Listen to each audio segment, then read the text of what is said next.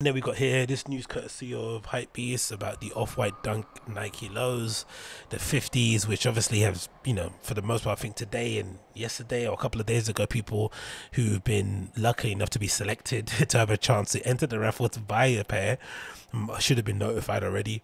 The distribution of these has been hilarious to see. It's always it, the the conversation around these shoes when they drop always, especially when it comes to Virgil and off-white stuff, is always hilarious because for the most part, most people always start off saying the design is shit, right? That was what the first thing came out when the original images leaked or the original color codes leaked, and people were putting together the um, mock-ups of what the shoes might look like. And then Virgil had that post where he was like, "Oh, I could never design something so shitty. I'm best designer in the world," and everyone was like, "Okay, cool." And you know that discourse, and people got angry at him, and then he kind of had to set the record straight, put out the material, and then people tried to convince us that they didn't like them. and then the release information comes out and they let you know here that you will see random distribution here courtesy of Hypebeast in terms of getting your pair. God almighty. My got a frog in my throat. So obviously if you're not familiar, if you're not aware, it's obviously um, Nike Dunk Lows. There's a collection of 50 very different colorways, you know, different color bases. There's a whole educated, nuanced, um, researched way of kind of looking at the shoes and how they got to this, you know, conclusion. It doesn't matter right now if you want more information about that. Go on Virgil's profile. I'm sure you put up some, you know, supporting information regarding it. But the release information is the most interesting part of it. It says here. Um, the release information was released in a SNKRS Live episode hosted by Lucian Dixon, and it said the following The collection is made up of 50 renditions following a similar sail grey colorways with a variety of colors used in the overlay laces. Last lot, in particular, will take on an all black colorway with white laces. Each pair is looped with a signature off white tag and contains a badge and a midsole um, pertaining to the number of the shoe out of 50. Cool, all well and good. According to the episode, all colorways will see a random distribution on SNKRS exclusive access, wherein users will be able to snag a pair but won't be able to choose which pair they're getting. Right? So, number one, you have to get exclusive access to SNKRS, which is not permitted to everybody, right? Only some accounts have it. Maybe it's you know some people would argue it's how much you buy on there, which is all gobbledygook because they, they do the same thing with like Dover Street Market and like um what is it? What site is it? And some of those sites and they oh it's how much you buy from the store. It's it's bullshit. It's random. Who knows what it really is? We don't have any idea because these people won't tell us because you know that's where their main IP and kind of you know um, hold over the scene kind of hangs. Completely understand that. But you have to first get the exclusive access and then once you get the exclusive access you can't even choose which pair you want you have to you just get given them randomly. Now, don't get me wrong; it's that not shouldn't be that much of an episode or that much of an issue because the likelihood of you getting the all white pair that everybody wants or the all black pair is unlikely anyway, and the rest of the colorways like much of a muchness. They've mostly got the same base, with only the real difference being the insoles, the tongue, and the kind of overlay lacing system thing on the top, and obviously the number, blah blah blah. But you know, it's most of it is cosmetic. Don't get me wrong; I understand cosmetics is important in sneakers, but it's not like a you know know, if you if you get this and that, there's no big big difference. But the fact that you can't choose is one of the most insane things that I've ever seen in my life. And at the end here, lucky winners are only allowed to select their size, right? So they're preventing you from choosing your own colorway, but then they're only letting you buy it if it's your size. Mm, legitimately, one of the most insane things I've ever seen. And it continues, said Dixon stated that hardcore fans of Off-White and sneakers will have a higher chance of being selected rather than just merely watching the SNKRS Live episodes. What does that even mean?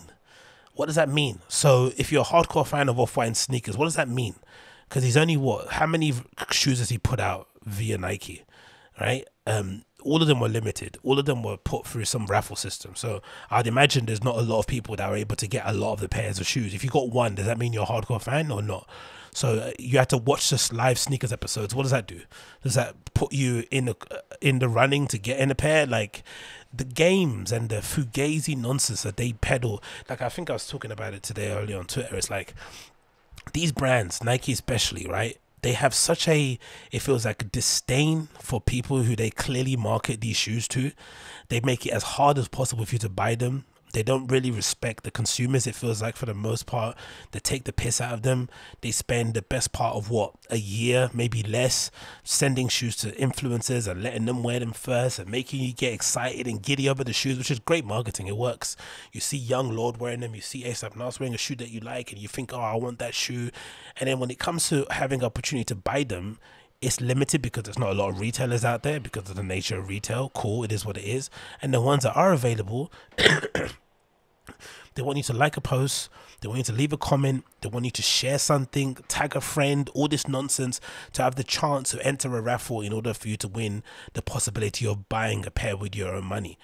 They've even over this entire process especially in the sneaker world they've somehow been able to change the meaning of what a raffle means. Back in the day when i was growing up a raffle meant you would buy a ticket for like a nominal fee a dollar a pound and that ticket would permit you the possibility of winning a prize that far exceeded the ticket that you bought. So maybe you could win you know a washing machine um, a car or whatever. That's what usually entering a raffle was about. But now they've made raffle to mean the opportunity to buy a shoe that you obviously want to have the money to pay for.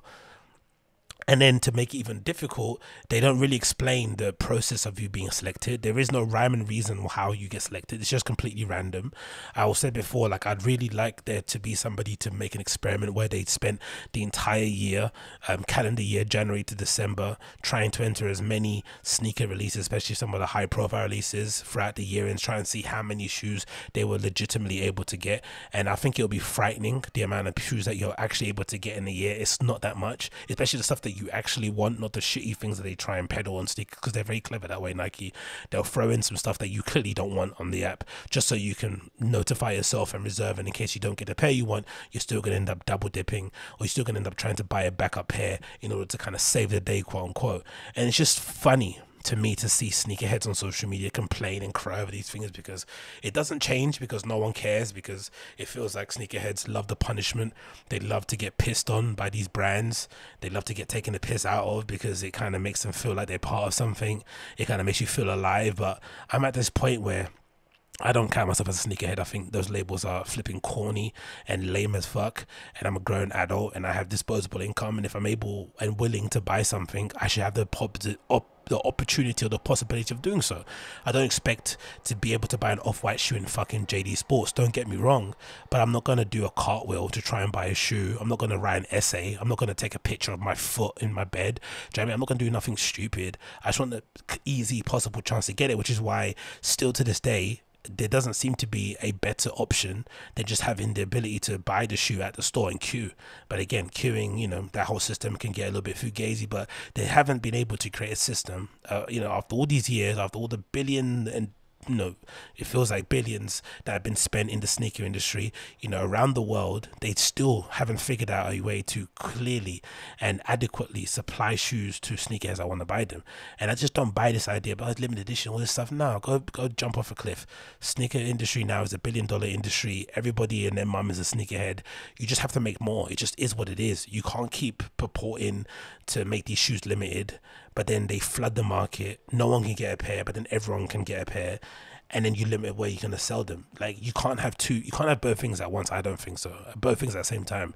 You can't just keep pushing everything as limited and then keep making thousand like for this this is 50 pairs of shoes uh, what's the overall quantity of them do you think overall in collection 100,000 maybe less than that more than that it's a lot of trainers right it's a lot of flipping material it's a lot of um, junk it, you know it doesn't really ascribe to the whole sustainability thing that everyone seems to be on at the moment and it just seems to be so perplexing how you just can't give people the opportunity to buy them because it still feels like to me the sneakerhead scene is still relatively small when it comes to when in comparison to the overall general consumer that buys shoes right? I'd assume that there is still a greater number of average joes who just go and buy you know classic new balances classic air forces a classic pair of reeboks year in year out who don't care about sneakerhead stuff right?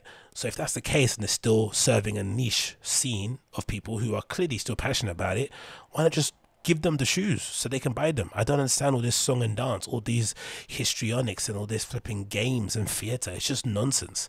And again, it's just sad to see the sneakerheads crying about the same thing because nothing seems to change. Like, you know, you've got this page here, LA Free Life, um, posting a screenshot of, you know, them be unsuccessful to get, you know, the chance to buy the pair. It says, I hate sneakers like more every day, single day. But again, they come back every year and more people here in the comments posting screenshots of the like, what what is this? We, we, if we've seen one screenshot, do we need to see three? We know what a L screenshot looks like, but they will come back again every single year, every single day, every single week, they'll come back to get their face pissed on by these brands because I think they enjoy the punishment. I think these guys legitimately enjoy the thrill of catching an L, the thrill of will I, won't I be able to win a chance to buy a shoe with my hard earned money. It brings them life, it gives them joy and these sneaker brands are, are not being held to account. No one's really calling them out for again these flipping, you know, artificial or yeah, no, these kind of uh, um, artificial scarcity things that they do with these quote unquote limited edition shoes. It's just a nonsense. It really, really is a nonsense. But that release again, I like the shoes. I was one of the only people that actually said when they first dropped. I think I make a couple of clips on my channel about the shoes in general. I quite like the dunks. I think they look fairly good, especially the black and silver pair.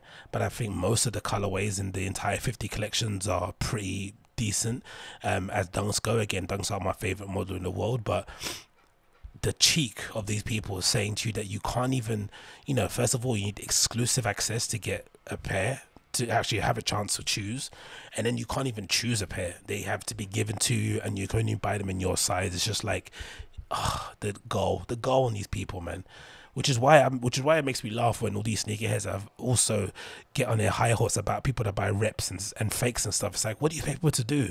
Not everybody is, is willing and happy to put themselves under some level of embarrassment and kind of shame in order to go through this nonsense of asking friends to bring you in and get you a pair. Not one, not everybody's okay with that. Some people just want to buy shoes and keep it moving. They don't want to communicate with stores and send emails and fill in Google forms. Just not for it. So if some people are willing to just do the floss thing and go and buy a pair from a Shenzhen factory somewhere, let them be, innit? Of course, they know deep down it's not the real thing. It is what it is, but it's just funny that you see these sneakerheads kind of policing shoes for the brands when the brands themselves aren't doing anything to help these guys get the shoes. You know what I mean? They're fighting for them and they're not fighting for you. It's just like, it's a nonsense. It's absolute nonsense. So you, you know, kind of indirectly, these brands doing all this fugazi stuff, they've indirectly kind of you know, built and kind of spurned this whole replica fake scene, which is indirectly sponsoring flipping, you know, terrorism attacks around the world. And then they've got these guys on the other side, you know, with their limited edition sweat factory shoes, they're not giving everyone a chance to buy. It's just like I don't know. I absolutely don't know about this stuff. It just it's legitimately insane. This is this is coming from somebody that's works on the inside. My time working at Nike has well showed me that it's not even better on the inside. It's just it's e- equally harder to get them when you're working for them. It's not even a guaranteed you can get a pair. You still have to beg and ask people for favors and suck a dick and you know check up on people and say, hey man, hope you're well, man. Just checking in to see if you got like you have to do all that cringy stuff to get shoes. It's not even easy. You can't even just fill in the form at your desk and have someone bring you a shoe. You have to kind of you know suck someone off uh, on your lunch break or whatnot. It's just all a nonsense. It's all a nonsense. I hate it all.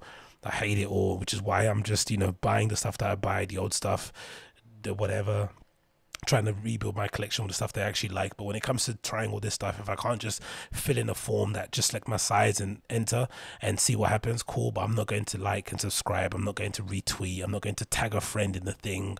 I'm not going to send you like I remember the skate shops asking you to send them stories about your first dunk. Like go and fuck off. Like jump off a cliff. Honestly, do a run. Honestly, run into a wall. Run into traffic. If you think I'm going to tell you a story about the first time I saw someone do a kickflip, like are you in insane. Like, oh yeah, yeah. These people are absolutely sick in the head. I guarantee you they're sick in the